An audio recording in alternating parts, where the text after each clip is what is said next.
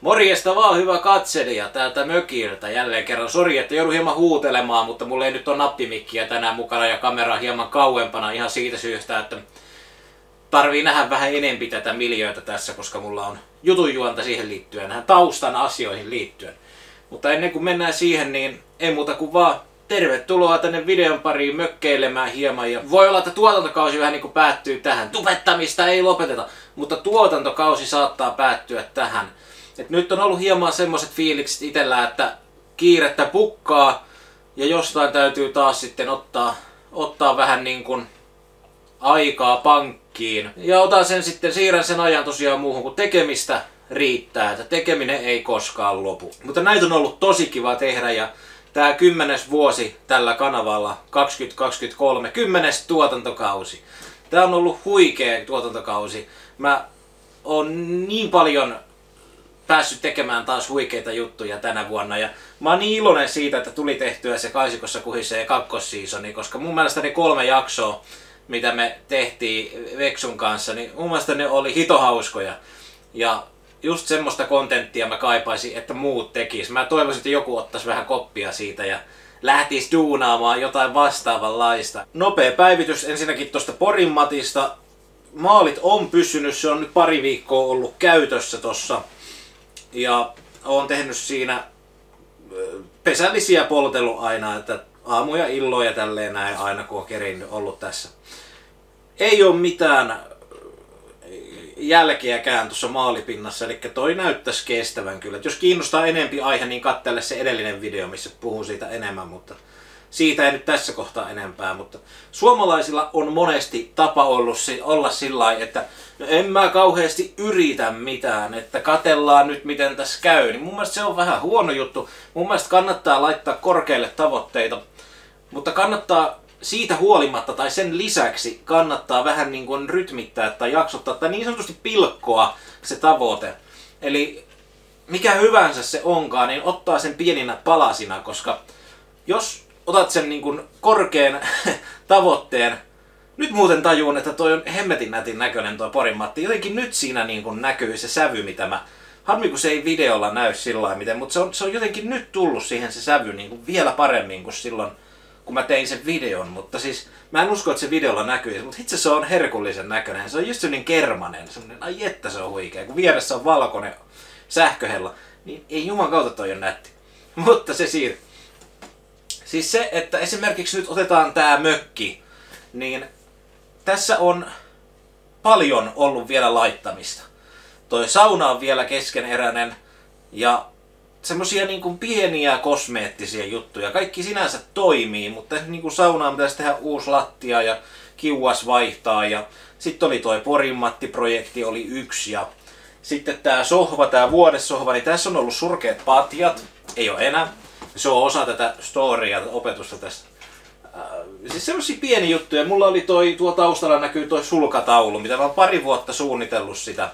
Ja mulla kesti viime talvesta nyt tähän niin kuin syksyyn, että mä lopulta sain sen valmiiksi. Mä niin kuin, ihan ton designin mä tein äh, joskus tammikuussa varmaan ja nyt sain sen vasta valmiiksi. Tavallaan niin kuin pitkä prosessi ja siinä, sille ei sen sinänsä mennyt kauaa siinä sen tekemisessä. Mutta ihan vaan siis se suunnittelutyö ja sitten se, että kun työkalut on ympäri ämpäriä, kun ei ole omaa verstasta ja tällaisia juttuja, niin se aina sitten niin kuin, ja sitten kun on vaan ne viikonloput käytettävissä siihen nikkarointihommiin ja muihin, niin, niin se ottaa just sen, että pienetkin asiat ottaa yllättävän kauan aikaa. Ja se, että kun näitä projekteja on, aina niin kuin mihin tahansa sä katsot, niin on joku juttu, mitä pitäisi tehdä. Ja, ja tavallaan niin kuin sulla on mielessä se ihan niin kuin päivästä yksi, jo se, että mikä se lopputulos on että se näyttää niin kuin tältä, että niin kuin kaikki on nätisti ja kaikki toimii. Mutta mut se matka kuitenkin on lopulta niin kuin todellisuudessa hyvin pitkä. Koska on muitakin asioita, mitä pitää tehdä. Että sä et voi vaan kaikkia niin kuin laittaa siihen. Niin, niin tavallaan niin kuin se, että otat sitten palasen kerrallaan. Tämä nyt on niin kuin vertauskuva, mä puhun tästä mökistä, mutta se voi olla mikä tahansa se juttu. Uh, joku, joku niin kuin, se voi olla joku abstrakti juttu tai joku konkreettinen juttu joku terveyteen liittyvä asia, pilkot sen tavoitteen. Että niin kuin tässä tapauksessa nyt mä oon aina ottanut yhden tehtävän kerrallaan. Ja joo, mä oon joitain juttuja tehnyt, niin kun ne menee vähän niin kuin tälleen. Ne vähän niin kuin äh, nivoutuu sillä niin kuin, mikä se sana on, ne menee vähän silleen niin kuin päällekkäin. Et se ei, ei se mene tietenkään sillä että että mä aloitan tekemään nyt tota jakkaraa, niin sit mä vaan niinku teen sitä jakkaraa, että mä teen sen niinku johonkin tiettyyn vaiheeseen, sit mä vaikka maalaan sen ensimmäisen ker- kerran, sit siinä on se 15 tuntia, kun sen pitää antaa kuivaa vähintään, että se voi maalata uudestaan. No sitten mä teen siinä välissä jotain muuta. Aha, nyt pitää mennä töihin, on maanantai, sitten mä teen töitä ja sitten ensi viikonloppuna jatkuu. Mutta silleen niin kuin, että sillä tavalla ne asiat etenee pikkuhiljaa. Ja sitten se niin kuin huomaa aina välillä, että hei, että yllättävän paljon on kuitenkin asiat edennyt. Että mä, mä, mulla tulee aina semmoinen ilo, kun mä katson, että ei, se on vihdoin siinä se sulkataulu. Oi, että Porimatti on putsattu ja maalattu. Ei, hitsi hienoa. No jakkaratkin on maalattu, että sekin on semmoinen, että monta vuotta puhuttu siitä, mutta sekin on nyt tehty. Ja, ja tota, sitten tämä sohva, niin tästäkin on nyt useampi vuosi, kato, kun meidän noin seniorikoirat, ei ole huukon syy, mä en syytä nyt sinua ollenkaan, mutta noin seniorikoirat, niin ne raapi ihan rikki ne vanhat patjat ja tyynyt tästä, niin tota, mä tilasin tähän uudet patjat. Että löytyi tämmönen setti, että istuu ihan täydellisesti ja on vähintään yhtä hyvät kuin vanhat, mutta niin kun, nyt on ihan kuin uusi sohva taas, että ihan hemmetin hyvä juttu, että nyt yritetään sitten varjella näitä, että ei niin nämä sakelin rontit pääse niitä jyrsimään taas. Yksi juttu tähän mökkiin liittyen, mikä mulla nyt on vielä ihan tekemättä, mutta mä oon tänä vuonna sitä suunnitellut, niin olisi semmonen kuvakirja. Mun mielestä olisi tosi kiva tehdä semmonen ihan siis jollain tommosella niin online-systeemillä, niin tekisi semmoisen kuvakirjan, että koostaisi siihen kaikkeen niin kuin, äh, niin kuin vaikka vanhoja karttoja, niin siinä voisi olla niin kuin alussa vanhat ka- kartat tai ilmakuvat niin kuin alueesta, et, koska tässäkin on historia sata vuotta taaksepäin, niin tavallaan niin kuin voisi vähän sitä laittaa. Ja sitten niin kuin, äh, niitä sieltä, kun tämä tuli niin kuin me, meidän suvulle, olisiko ollut 2007 tämä niin kiinteistö tässä näin, niin tavallaan niin kuin, tämä oli aivan erinäköinen silloin. Ja itse asiassa mä voisin laittaa tähän vaikka muutaman kuvan, koska mä vähän veikkaan, että ette varmaan ikinä nähnytkään, minkä näköistä täällä oli. Et tota, en ole varmaan muuten ikinä näyttänyt. Mä voisin tähän kohtaan vaikka, jos muista editissä, niin nyt herätkää, tulkaa kaikki katsojat katsomaan sinne ruutun ääreen. Ja pistä tähän muutaman kuvan niin kuin alkuvuosilta sillä lailla, että minkälaista täällä oli. Harvittaa, että ihan sieltä niin kuin päivä ykkösestä ei ole mitään kuvia, koska sisältä tämä oli hyvin härskin näköinen silloin. Että tää oli niin kuin, täällä oli siis aivan eri niin paneelit, kaikki pinnathan uusittu, niin täällä oli semmoiset lakatut vanhat paneelit 70-luvulta, mitkä haisi, se haisi aivan tupakalle kaikki, tupakalle haisevia kalusteita, aivan sullottu täyteen ja siis todella pimeä, katto oli matalemmalla tossa noin ja siis aivan kaikkea. Tuo sauna oli semmoinen hehtaarisauna. Et se oli sillä hauska, että se oli aivan valtava, mutta niinku, joo, et niinku, täällä on sillä tää on niinku aivan eri, erinäköinen nykyään. Mut, mut niin, et niinku, ja sitten toi piha myöskin, että ei ollut lampea. Ja toi piha-aitta tossa, toi tommonen vierasmaja. Se oli aivan eri, se oli aivan eri värinen ja, ja tota, se taisi olla niinku varastotila lähinnä sisältä. Mulla on tuossa pizzataikina mukana, ihan itse tehty siis, mutta niinku etukäteen tekemä, koska täällä on niin hirveän hankala leipoa, kun ei ole tuota hanaa eikä sillä niinku. Niin mä ajattelin, että mä voisin tehdä pizzan tänään jossain vaiheessa tässä vielä, niin katsotaan millainen siitä tulee. Mutta mun täytyy nyt mennä lisäille tonne saunaan puita ja katsoa nyt vähän tuota huukoa, toi alkaa käydä vähän levottomaksi, että mitä mä sille keksin. Mutta pieniä projekteja tässä olisi niin kuin taas, että tämä hattu, minkä ostin silloin kun vuosi vaihtui, niin tässä on niin kuin pieni vika, että kun toi on vaan liimattuna toi, tässä on tämä ominaisuus, että tämän saa niin kuin tälleen auki, niin tota, tämä toisen puolen klipsi, mä en tiedä, että ette nyt sen näe, mutta se on niin kuin irronnut, se on vaan liimattuna tuohon, niin se vastakappaleeseen, niin, kuin, niin, niin tota, se pitäisi liimata, mutta mä tarvin puristimen siihen, mun pitää etsiä se sitten huomenna jostain, niin mä en tänään tee sitä, mutta mulla on vahvaa epoksiliimaa, millä mä sen laitan siihen sitten. Sitten kävi hommaan tämmöiset hyllyn kannattimet, niin mä oon suunniteltu tonne, tonne ylös jonnekin, vois semmosen pienen, ei tarvi siis pitkää pätkää, ihan joku puometrinen pätkä hyllyä. olla aika jees. Et sit siihen sais, kun tossa on toi vitriini, niin siinä on, pien, siinä on lintukirjaa ja tommosta, niin se olisi sillä aika nastaa pistää sit sinne ne kirjat. Niin se voisi olla ihan jees kanssa. Mutta mulla ei ole sitä itse hyllyä vielä, niin saa nyt nähdä. Mun pitää miettiä, että laitanko mä näihin jotain käsittelyä vai mitä mä teen. Mutta se on sitten huomisen hommia nämä. Näihin mä nyt sen tänään niin kuin puutun, mutta, mutta nääkin on tää hyllyjuttukin on että mä oon tänä vuonna niin kuin pitkään tätä miettinyt, suunnitellut. Mä en ole vielä ihan päättänyt, että minne mä sen laittaisin. Mä ehkä haluaisin sen tonne, mutta sitten toisaalta tuossa on toi kitarateline, niin saa nyt, saa nyt nähdä, että mihin se sitten tulee. Mutta, mutta joo, semmoista. Mä, mä, käyn nyt laittaa saunaan lisää puita, ettei se sammu. Ja rupean kohta kattelemaan tuota porimmattia, että uskaltaako sitä jo sytytellä, koska mä en halua kuitenkaan ittiäni savustaa täältä ulos, niin katellaan. Mutta, mutta kylmä on, 12 astetta vasta. Ja vaikka mulla on villasukat jalassa, niin kyllä niin kuin kylmä on. Kyllä täällä paleltaa. Mutta kyllä tää tästä lämpenee vielä. Ulkona 0,9. Tänään sato lunta. Voitteko kuvitella? Oikeasti tuli lunta. Huhhuh. Kylmää on kyyti, mutta kyllä me pärjätään täällä. On tullut katsottua tätä My Self-Reliance Ukon, eli tää Sean James, niin tän tätä podcastia. Tää on, tänne on tosi kiva katsoa, se on nyt tehnyt muutama jakson, niin niitä on kyllä kiva kuunnella samalla kun tekee juttuja. Mä tykkään itse enemmän tosta sen juttelukanavasta kuin siitä My Self-Reliance-kanavasta. Mut otetaan toi taikina nyt tähän esille. Se on tuossa kulhossa ollut kelmun alla.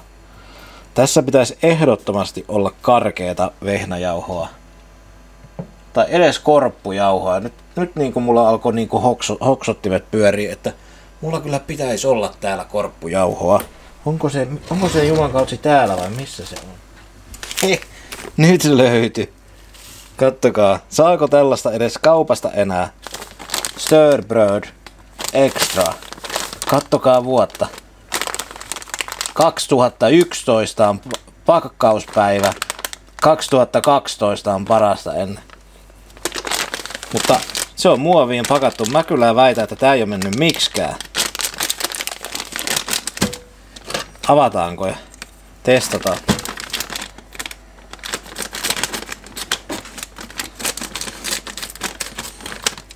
Ei mun muisti nyt ihan, ihan väärässä ollut. Kyllähän sitä oli täällä.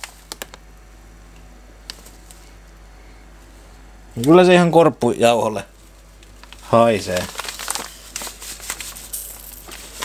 Laitetaan nyt vähän nuin puolitoista vuorokautta noussut alkaa niinku käymään, tiettekö, kun alkaa toi, siinä tulee semmonen voimakas tuoksu.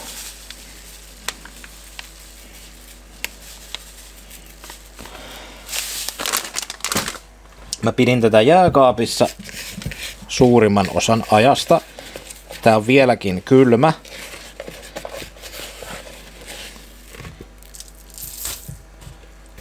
Mä en tee nyt tässä kohtaa oikeasti mitään muuta kun mä annan sen vaan olla. Mä en rupea sitä vaivaa, en mitään. Vaan mä annan sen vaan nyt olla tossa. Ja laitetaan siihen päälle vaikka toi. Ja ootellaan jonkun aikaa. Mä käyn saunassa tässä kohtaa ja katellaan tunnin päästä miltä se näyttää. Mulla on semmonen oma saunarutiini, että mä käyn kaksi kertaa vilvottelee siinä välissä ja sitten peseydyn. Mutta joo, hyvät oli löylyt, reilu 80 astetta oli saunassa ja oli oikein jees. Sisälämpötilakin alkaa olla jo 19, eli oikein mukava. Porin Matt of Pori, or Matty of Pori. Matti of Pori toimii erittäin hyvin, että ei siinä siis hohkaa ihanasti lämpöä tähän. Mut voihan video video siinä, että tajusin vasta äsken, että mulla tosiaan jäi sitten se kastike sinne kotion jääkaappiin. Se oli puolikas purkki.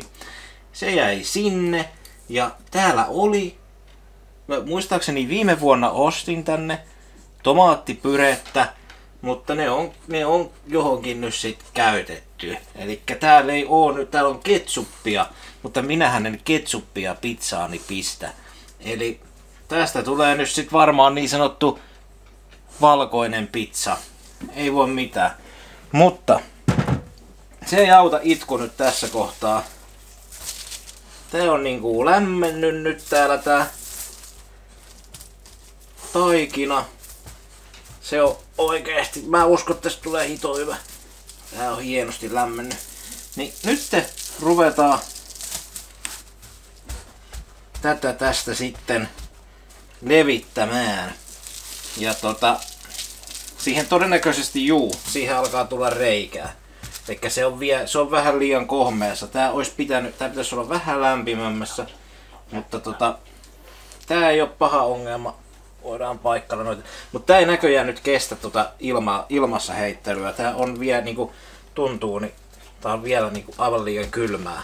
Kylmää tää taikina, niin siinä ei niinku oo sit sitä sitkoa tai semmoista. Se eilinen, eilinen satsi, mikä tein ihan sama, samasta taikinasta, niin se ei kohonnut näin kauan todellakaan, mutta mut se kesti niinku ihan ilmassa heittelyä, mutta kun mä tein se heti tuoreeltaan siinä. Itse mä oon pettynyt, kun kyllä mun mielestä, siis mä tykkään kyllä valkoisesta pizzasta, että just joku formaggi tai joku, niin ai että ne on hyviä. Mut, ja etenkin jos on korkonsolaa, muuten en tiedä. Mä en fetajuustosta itse oikein välitä, mutta korkonsola on kova. Mozzarella tie, tietysti, erityisesti se vesipuhvelin mozzarella. Mä nykyisin aika harvoin sitä ostan, kun se on niin kallista, se on niin pirun kallista. Tuolla, tuolla vähän repeilee toi. Se nyt sinänsä on väliä, jos siellä vähän reikää on, mutta tota, koitetaan nyt saada tää kunnialla kuitenkin. Yritetään tehdä tästä semmonen suht pyöreä. Se nyt sinänsä ei ole väliä. Me laitetaan tää uunin pellille. Mulla on uuni lämpeämässä tällä hetkellä täysillä 300 astetta. Ja mulla on pelti siellä uunissa. Ja se tulee olemaan hieman haasteellista nyt sitten, että miten mä saan tän tästä siihen kuumalle pellille. Niin tota, mut kyllä me varmasti jotain keksitä. Mutta tää on nyt aika hyvä. Tää riittää mulle. Nyt tässä kohtaa ei hiero. Tossa on näköjään alkava reikä. Otetaan siihen toi vielä, niin sitten ei räsmät varusteet heti. Noin. Eli meille ei tuu nyt kastiketta, niin me päästään suoraan sitten tuohon juuston kimppuun. Ja, ja tää juustohomma on semmonen, että niin paljon kuin mäkin tykkään juustosta ja houkutus on oikeasti aina suuri pistää sitä juustoa siihen niin kuin kahdella kädellä, niin kyllä se, se on vaan jännä juttu, että kyllä se yleensä aina vaan toimii paremmin, että jos sitä juustoa laittaa vähän maltillisemmin, niin sitten se juusto ei muodosta siihen semmoista kun se juusto sulaessaan siis tekee, jos sitä on liikaa, niin se tekee semmoisen kalvon siihen pizzaan. Ja sitten se pohja, ei, sit pohjasta ei vaan tule yhtä hyvä. Niin tota, kannattaa niin kun jättää sit sinne vähän semmoista hajurakoa kumminkin sitten. Tää on tota Louisianan salamia. Hemmeti hyvä salami. Ja sitten tää on jotain perus pepperonia. Joo, sit siihen päälle tulee vielä, tuossa puolikas mozzarella, niin sitä tulee sitten tohon. Kato, tossa on oliiviöljyä. Laitetaan oliiviöljyä luraus tohon.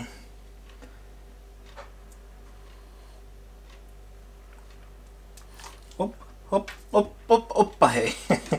tota noin. Oi, oi, oi, jumakautsi. No, se sinne menee. Tuo voi laittaa kans sitten, kun se tulee uunista, niin siihen se on kanssa ihan jees, mutta laitetaan nyt tuohon. Voisi jos oikeasti halua hifistellä, niin tämän öljyn voi sitten tota pensselin, pensselin kanssa niin levitellä tänne, mutta mennään nyt näin. Saadaan siihen se alkusokki tavallaan, kun se taikina tuohon kuumalle ja, ja niin kuin esilämmitään sen pellin myöskin, niin on just se, että siihen tulisi se alkusokki, että tavallaan se, mä en niin kuin tieteellisin termein tiedä, että mihin se perustuu, mutta tavallaan vaan yksinkertaisesti siinä niin kuin, kai mitä siinä periaatteessa tapahtuu, niin on niin kuin se, että se ei kohoa se taikina, vaan se niin kuin pinnasta, siihen saadaan se rapeus sillä niin kuin pam, se oikein niin kuin jysähtää, palaa niin sanotusti oikein, ei nyt siis kirjaimellisesti pala, mutta se niin kuin sillä kovettuu pinnasta ja sitten nopeasti, se loppu pitäisi tulla niin kuin nopeasti. Tämäkin tässäkin kestää nyt ihan liian kauan, eli tämä, tämä uuni ei niin kuin ole tarpeeksi kuuma. Mutta tota, se idea on vaan se, että sitten ne täytteet, niin, niin kuin ne, ne niin kuin sulaa, juusto sulaa ja, ja tavallaan niin kuin that's it, että se, niin kuin se itse pohja kypsyy sitten hyvin nopeasti, että monesti saatetaan tehdä just vähän en mä tiedä, se virhe, mutta monesti saataan kotona just tehdä sillä että kun on totuttu siihen, että kaikki tehdään 200 asteessa, niin sitten tehdään se pizzakin siinä 200 asteessa, mutta kyllä siitä vaan niin yleensä tulee parempi silleen, että kun pistetään se täysille.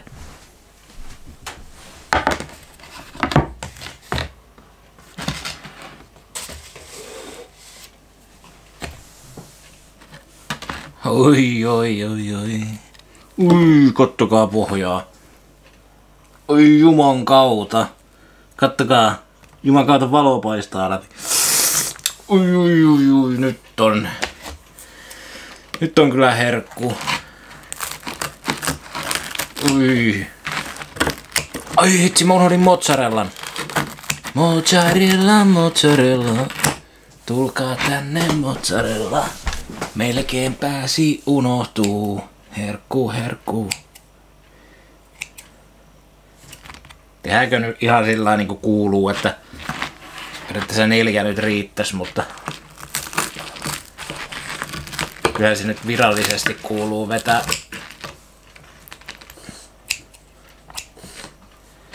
sitten kahdeksaan vielä. Siis erittäin, erittäin rapea pohja. Ehkä hieman tosiaan kuivahti toi juusto, mutta en mä valita. Kun slice pysyy tällain kasassa, niin voiko, va- voiko valittaa pohjassa väriä? Ai juman kautta, nyt on hyvä. Nyt on ihan hemmetin hyvä.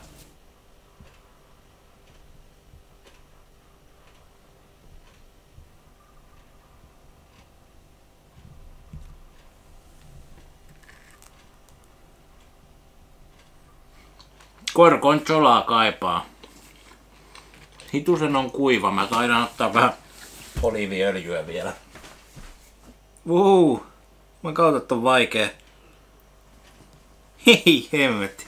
Mä kautta on vaikea kaataa tästä. Ei vitsi. Leviää vitsi pitkin pöytiä vielä. Mut siis niin kuin uusien uunien, uunien kanssa, mikä, niin kuin, millä et ole tehnyt pizzaa aiemmin, aina hieman haastavaa. Juu. Mut joo. Mä rupeen herkuttelemaan, hemmeti hyvää tuli. Niin. Ei muuta kuin tää video varmaan, musta tuntuu, tää oli varmaan tässä. Ei mulla oikein mitään muuta lisättävää. Mä rupean tästä nyt syömään ja rauhoit. Kello on jo puoli 11. Ja huomenna on sitten paljon hommaa luvassa, työtä ja muuta duunia tässä, niin ei varmaan kerkeä kuvailemaan, mutta jos tää nyt jää tämän vuoden viimeiseksi videoksi, niin kiitos tosiaan teille kaikille taas katteluista. En, en nyt lupaa mitään. Voi olla, että tulee tehtyä videota, jos aikaa löytyy, mutta niin kuin sanoin tuossa alussa, niin nyt on, on vaan yksinkertaisesti kiire ja jotain pitää jättää taka-alalle ja on tuntunut vähän sillä, että, että tota, tämä ei ole ollut nyt niin tärkeä tämä videohomma täällä, niin se nyt on lähdössä tällä hetkellä varmaan ensimmäiseksi niin kuin mäkeen, mutta katsotaan miten käy, että eh, onko tässä aikaa vai eikö ole aikaa, niin se jää nähtäväksi. Mutta varmaan ainakin nyt ainakin pieni tauko tulee, jos ei, jos ei sitten loppuvuodeksi, mutta katsotaan. Ei muuta kuin hei, kiitos kattelusta, nähdään taas jossain vaiheessa. Se on moro. Maistetaan vähän tota mozzarellaa vielä. Mm. Oi oi. parempaa kuin Roomassa.